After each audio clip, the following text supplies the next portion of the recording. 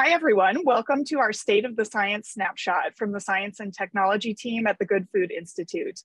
I'm Liz Specht, VP of Science and Technology, and I'll be joined by several of my colleagues to highlight the most exciting developments happening in the science and technology ecosystem for alternative proteins. These snapshots are presented three times a year, and each will cover developments over the prior four month period.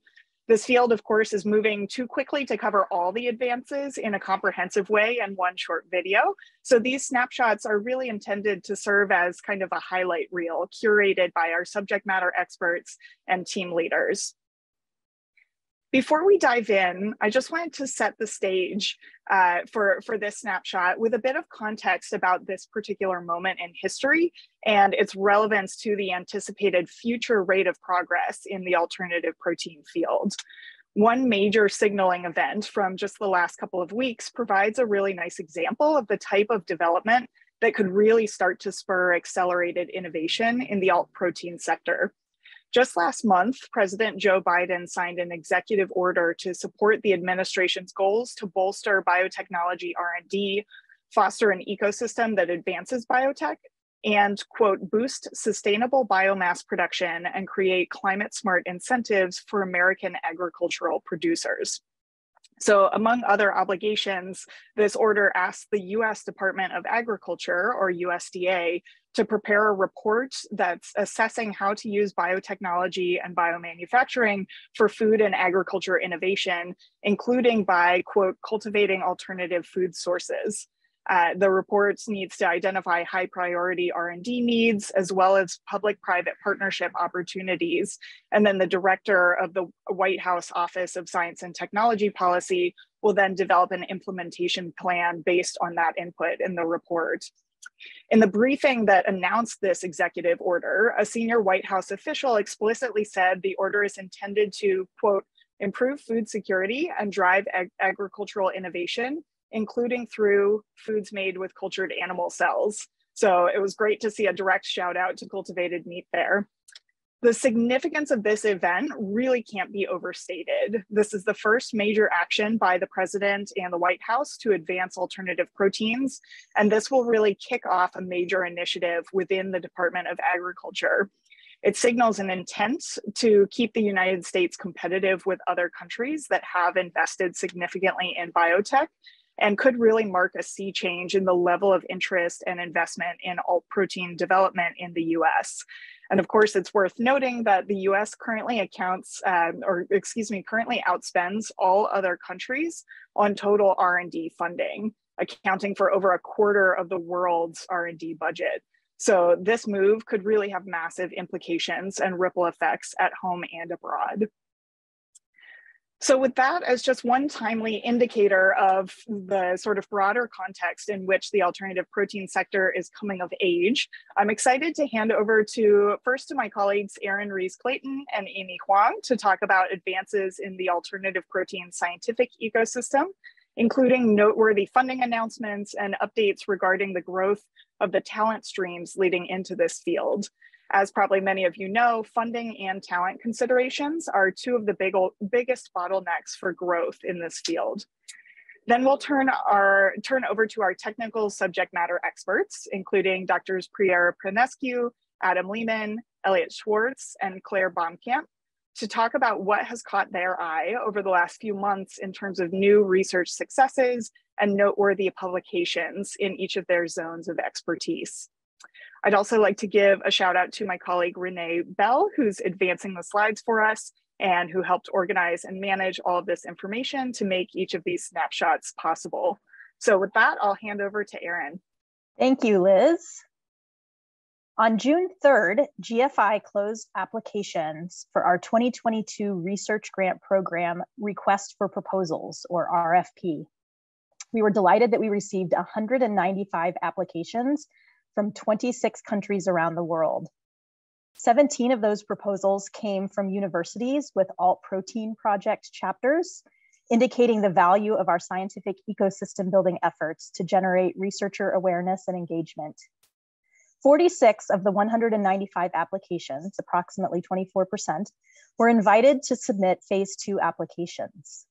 We'll introduce you to our newest cohort of GFI grantees in our next State of the Science update at the end of the year.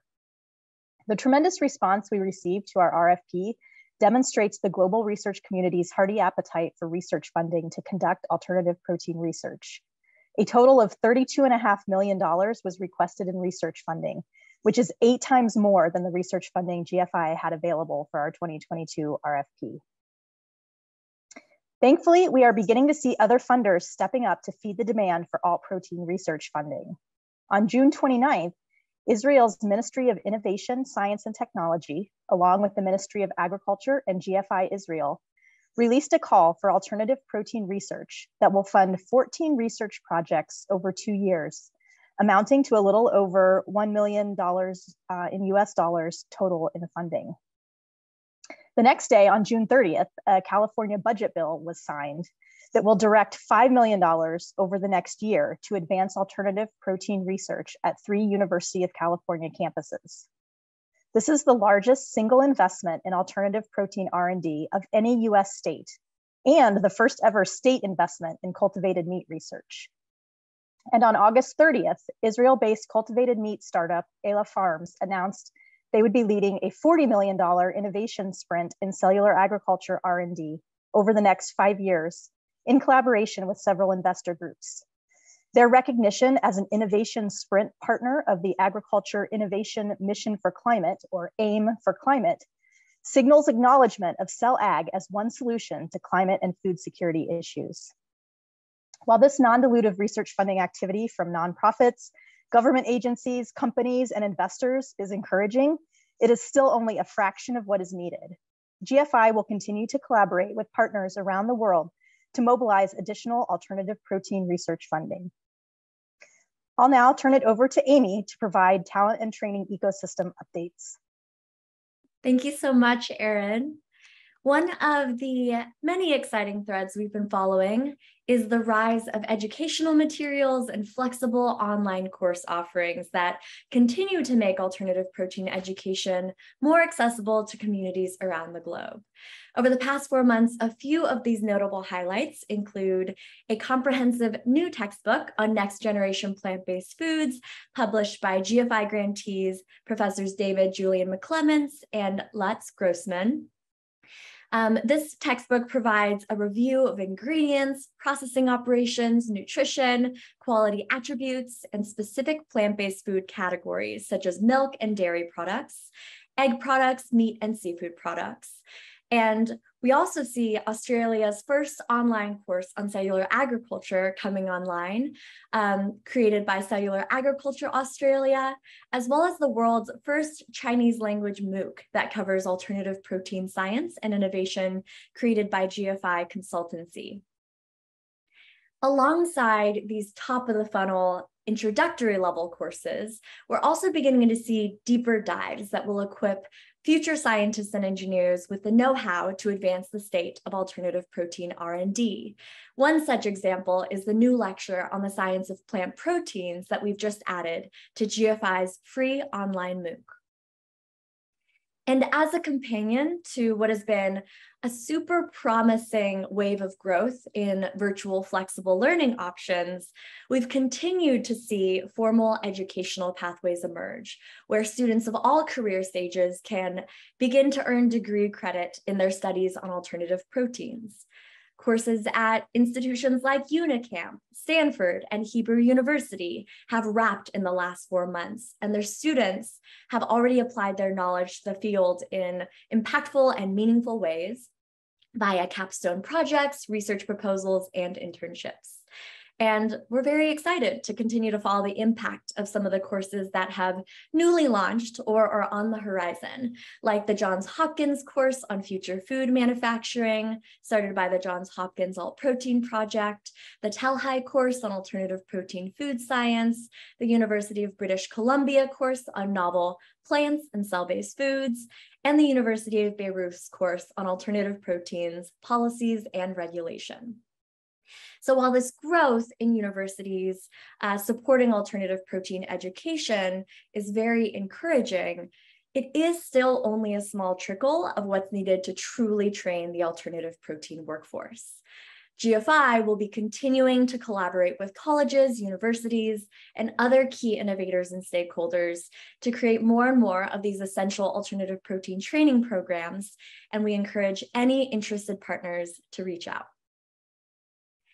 Another trend we've been detecting is the growth of faculty titles, appointments, and openings that codify alternative proteins as a new research field. Some relevant data points to support this trend include Dr. Reza Ovissipour's recent title change as the Assistant Professor of Food Safety and Cellular Agriculture at Virginia Tech, Dr. Marius Henkel's new appointment as the Chair of Cellular Agriculture at the Technical University of Munich, and the University of Helsinki's open role for a tenure track professor in cellular agriculture. All of these signals provide important indicators that academic institutions are beginning to recognize alternative proteins as a truly new research field and worthy of the same type of resource allocation. Lastly, in August, GFI was thrilled to train and welcome 20 new student groups into the Alt Protein Project. These groups are led by brilliant student leaders that hail from research universities around the globe and include our first groups from Asia, Africa, and Australia. We're so delighted to have these new voices and perspectives to advocate for alternative protein research and education in our quest to build a better food system. And all in all, this brings our total number of groups in the Alt Protein Project to 36 chapters across 17 countries and five continents. And I hope in the coming months and years, you'll join me in following their journeys as they mobilize their communities to usher in a new era for our food system. So with that, I'll pass it over to Pri for exciting developments in the science of plant-based proteins. Thank you so much, Amy, for providing those excellent opportunities and advancements. Um, strategic partnerships across industry, academia, and other organizations are strong enablers of the scientific advancements we see in plant-based food innovations. I'd like to note a few exciting strong collaborations announced this last cycle. Givaudan, Bühler, and Cargill are jointly opening a tropical food innovation lab in Camp Campinas, Brazil, on the Food Technology Institute's premises. The lab is slated to open early 2023 and will be approximately 1,000 square feet. This collaborative lab will explore Brazil's rich plant biodiversity and include wet and dry alternative protein extrusion systems. This innovative lab announcement follows another collaboration with Givaudan and Bühler with the opening of their Plant Innovation Center in Singapore last year. Additionally, Waters Corporation, a leading analytical instrumentation company, partnered with the Plant Protein Innovation Center, or PPIC, to provide technical technology and expertise to advance our understanding of plant-derived amino acids and drive development of new protein sources.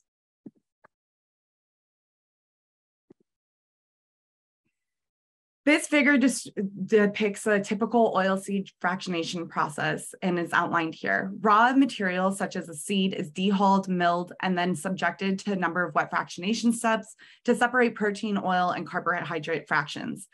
Recently, modifications to, to traditional processes like these have been made to enhance plant protein functionality, reduce extraction costs, and improve environmental sustainability. Examples of these first focus on soybeans. ADM and Benson Hill announced a partnership in which ingredient company ADM will scale up breeding company Benson Hill's ultra high protein soybeans to produce soy protein ingredients at scale, with products expected to launch in early 2023.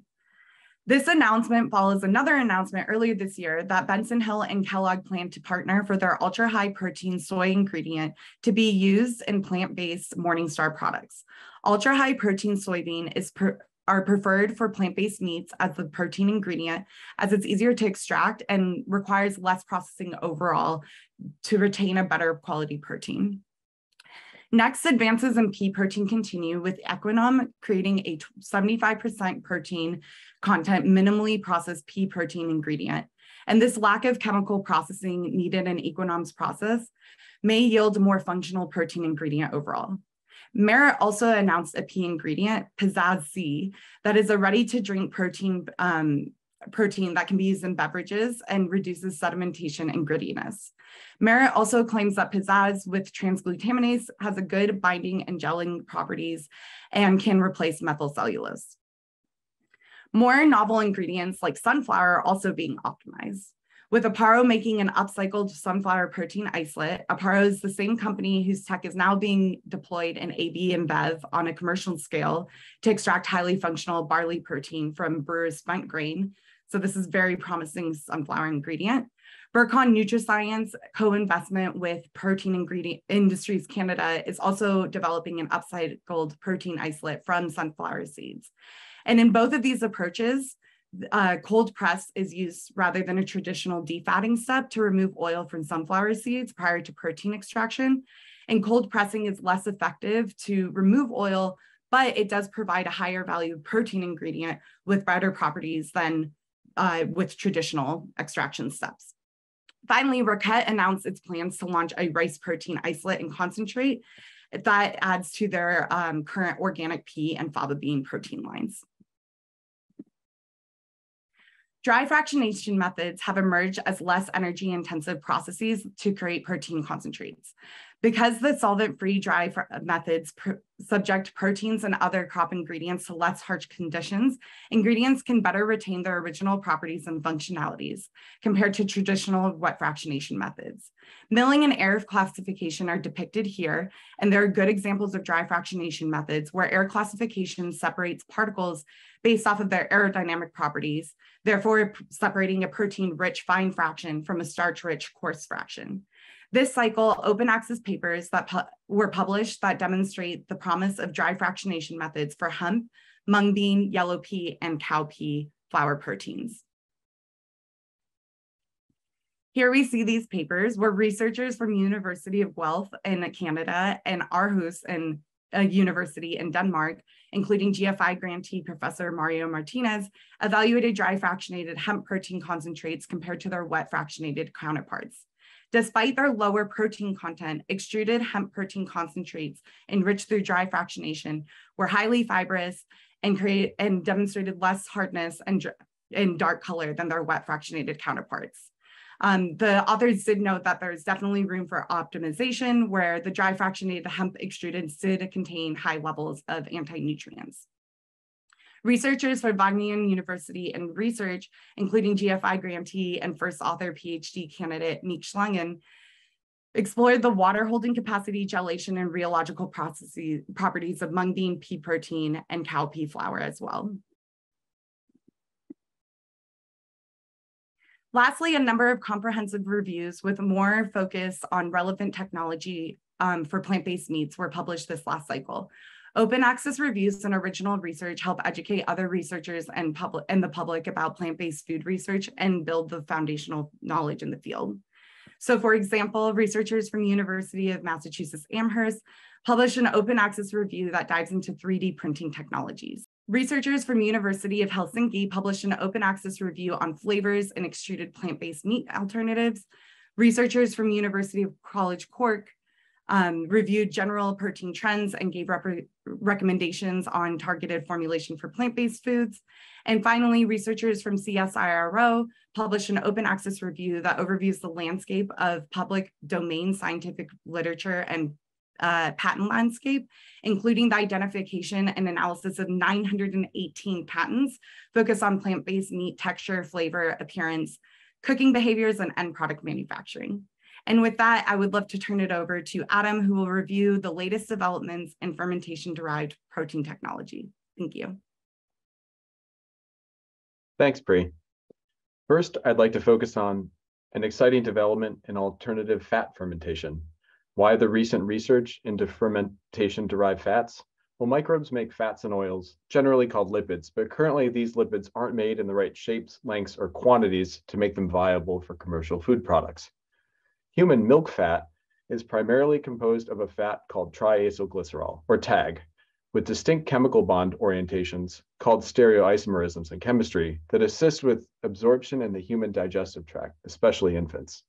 Oleaginous or lipid storing yeast are a promising source of alternative fats, though like plants, most species do not make TAG in the same shape as that that is found in human milk.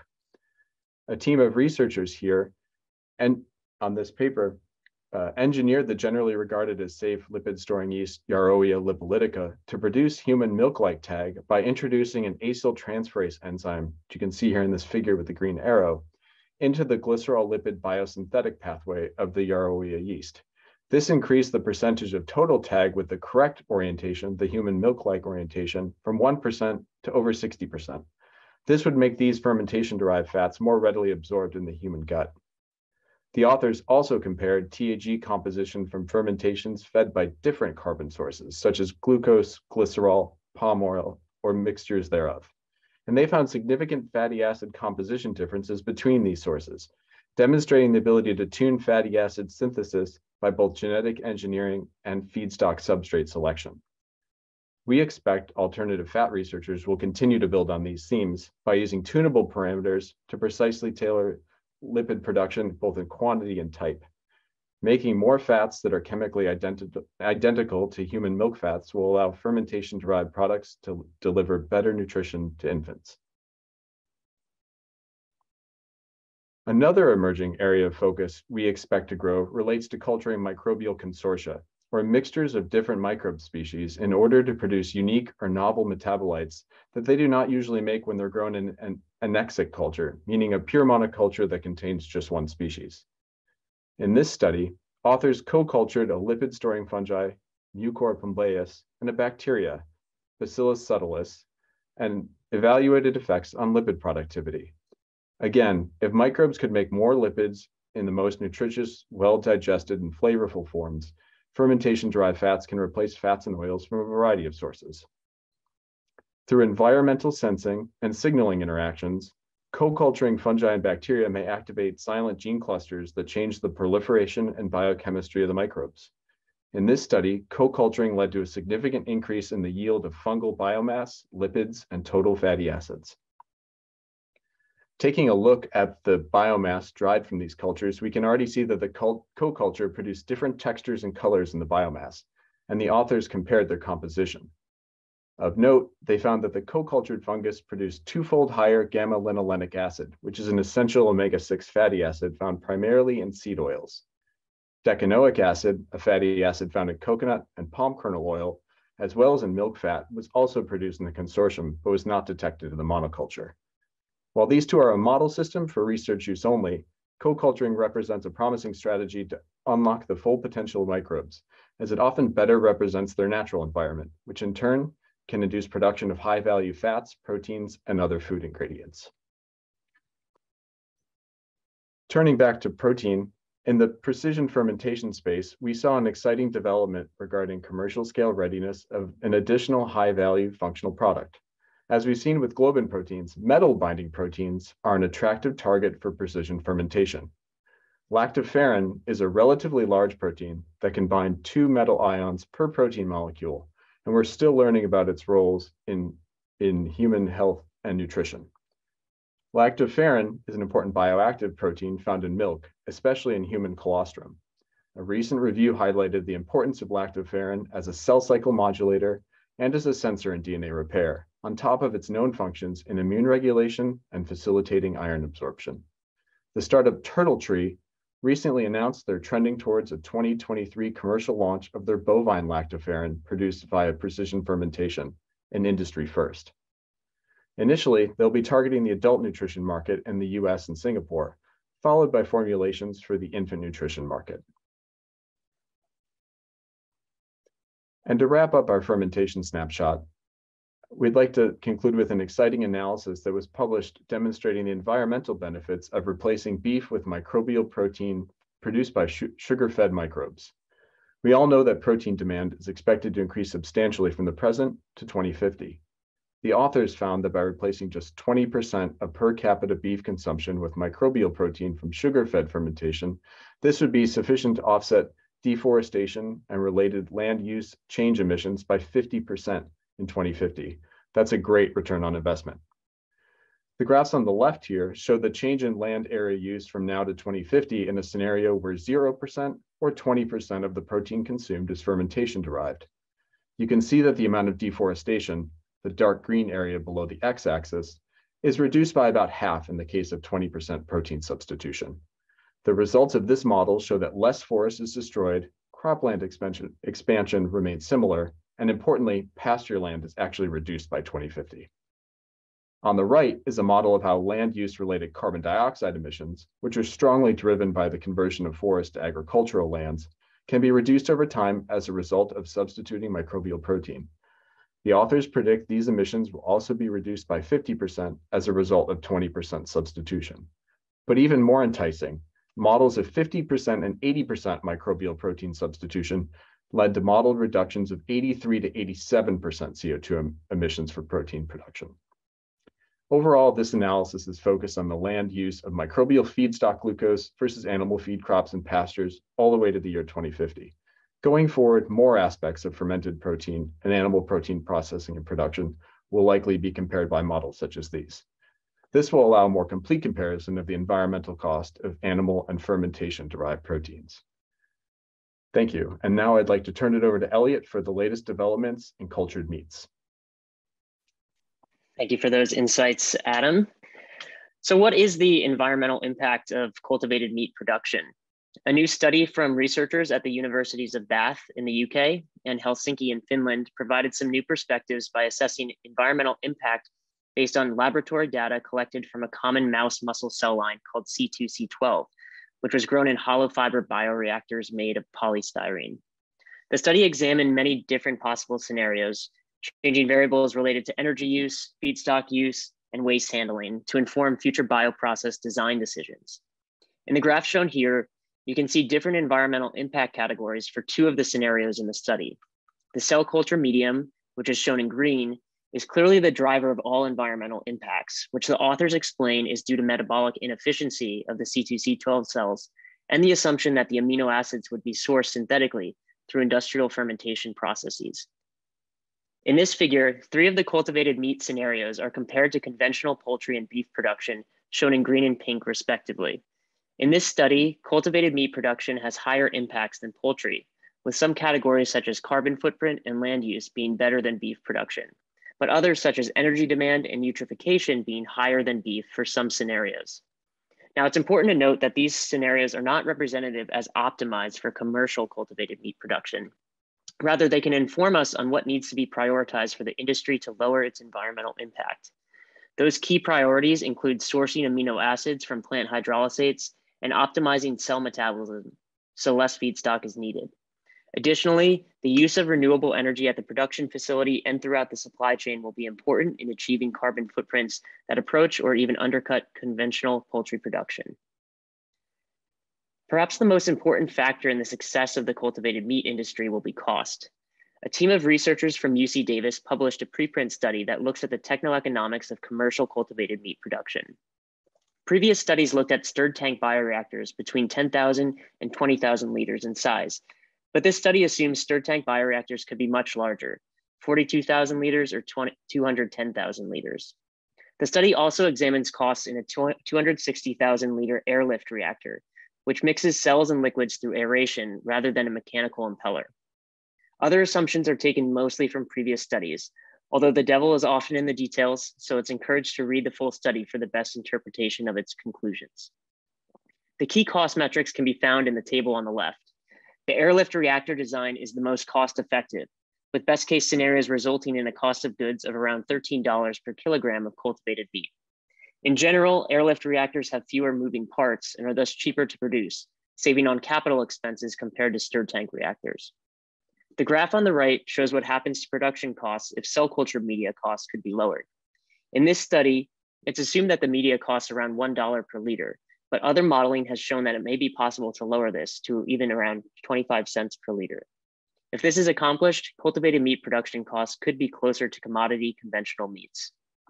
Now, it's important to note that animal cells have never been grown at such large scales, nor have they been grown in large airlift bioreactors before. So this work is best taken as conceptual. Nevertheless, the study illustrates that economies of scale and bioreactor design choice will play a large role in the ultimate cost of cultivated meat production. Scientists at Mosa Meat continued to open source the progress in the development of serum-free media. They've previously published papers on serum-free differentiation of bovine skeletal muscle, But in this paper, they examine how they achieve serum-free proliferation media, outlined in the five steps below, shown here. In short, the researchers replaced some of the most important growth factors found in serum with chemically defined sources and then optimized their concentrations. The final formulation contained 15 total added factors and performed at about 97% efficiency compared to serum containing media. The media contains lots of recombinant proteins and other potentially expensive ingredients. So future work will be focused on low cost sourcing strategies for these ingredients. Lastly, several cultivated meat focused papers were published in the journal Biomaterials, including these three papers focused on microcarrier technology from labs in China, Norway, and the United States. The graphic outlines one paper that used microcarriers to grow both fat and muscle cells before combining them together in a 3D printed mold, held together by the enzyme transglutaminase. The meatball prototypes, shown here with the addition of red food coloring, were cooked and analyzed for their texture and nutritional properties. Together, these studies demonstrate the potential in using various materials and methods for producing cultivated meat with microcarriers. I'll now turn it over to, to Claire, who will review the latest developments in alternative seafood. All right, thanks, Elliot. And with that, let's dive into the seafood updates. So, an ongoing challenge for researchers investigating cultivated seafood, as I'm sure many of you know, is the lack of readily available cell lines from relevant species and cell types. A new paper from Dr. David Kaplan's lab at Tufts helps to address that challenge with an immortalized line from Atlantic mackerel muscle. Their new preprint describes the MAC1 line, which has been cultured for over 130 passages. From passages 37 through 43, the cells underwent a spontaneous immortalization crisis. And what this basically means is that most of the cells in the culture died, but that's a good thing. It's a good thing because the cells that survived this crisis appear to be a spontaneously immortalized cell line with a doubling time of around 24 hours. This is in contrast to around 64 hours for the original primary population. The myogenic potential of the line was confirmed by staining for the myoblast marker PAX7 and further confirmed by staining for myosin heavy chain after 10 days of serum starvation. The researchers also confirmed by PCR that the cells in culture indeed came from Atlantic mackerel, very important. And also importantly, species confirmation and testing of myogenic potential were carried out both before and after the crisis event. So this supports the idea that the cells surviving the crisis were indeed a true immortalized line and not some sort of contaminant. So there's a lot more data in the preprint if you're interested in diving into the details, but for the sake of time, I'll just give some quick takeaways.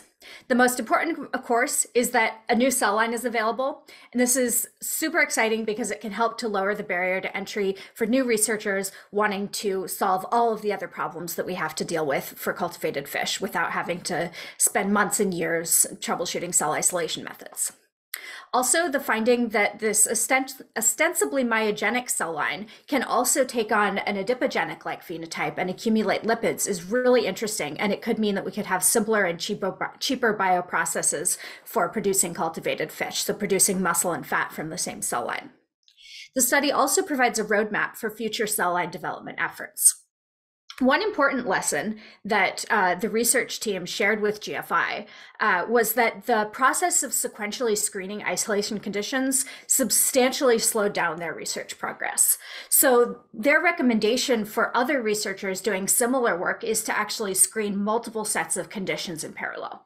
So, huge thank you to the team for sharing this with us. And we hope that others in the research community will benefit from this nugget of wisdom um, in their own cell line development efforts.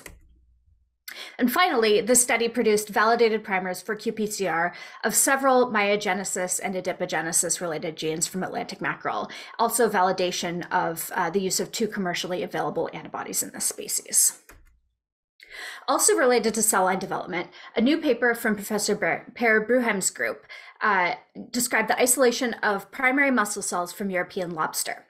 The research team optimized conditions for mechanical and enzymatic dissociation of both adult muscle and larval tissue, isolated and quantified satellite cells, and then optimized culture conditions for the isolated satellite cell populations. This is the first published report of a primary muscle cell isolation from lobster, which provides a solid starting point for future studies of cultivated crustacean and for efforts to create immortalized lines. This paper also helps with the problem of a lack of validated antibodies for use in seafood species, as they reported the successful use of a commercially available PAX7 antibody, but were not successful with either of the CD30, CD34 antibodies tested.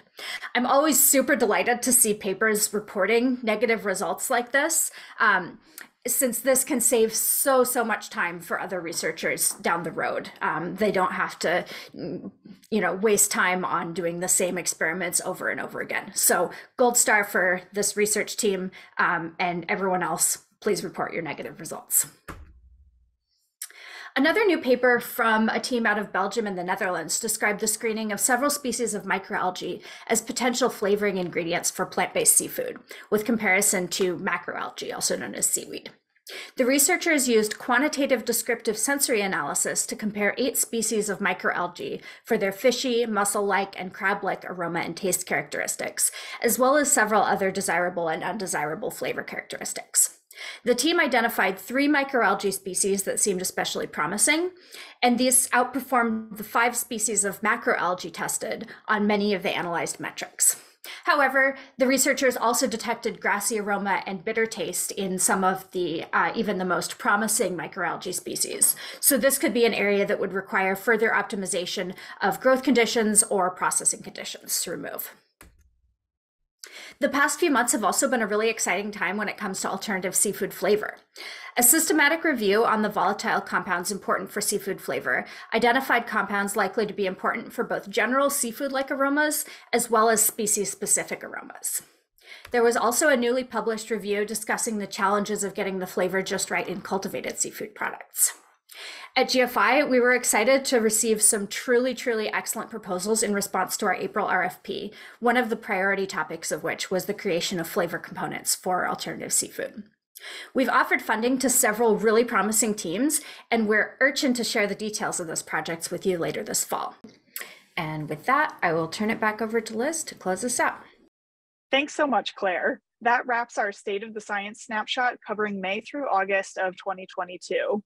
Again, these highlights represent just a curated collection of the most noteworthy developments in the field from our subject matter experts, not a comprehensive list of everything that's happening.